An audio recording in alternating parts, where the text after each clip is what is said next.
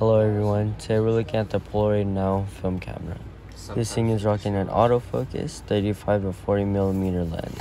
The film that this is compatible with is I-type film as well as 600 film. And right out the box, it comes with one double color I-type film. Now when it comes to looking at the Polaroid itself, this is what it looks like. You have the flash, you have the lens up front of course, back you have the little hole to look through, and that's how you power it on. As you can see, under it, it shows the amount of film that it has. And then here's a button to actually take the picture. I honestly really like the design of this as it has a very minimal aesthetic to it.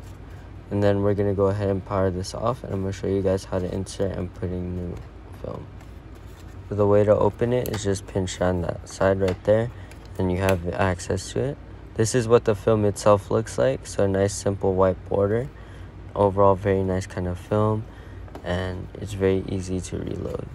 Overall, this is a very nice quality kind of Polaroid camera. And if you're really invested into stuff like this, I do highly suggest getting this as it is a really good investment. That just about does it for this video. Appreciate you guys and thank you guys so much for watching.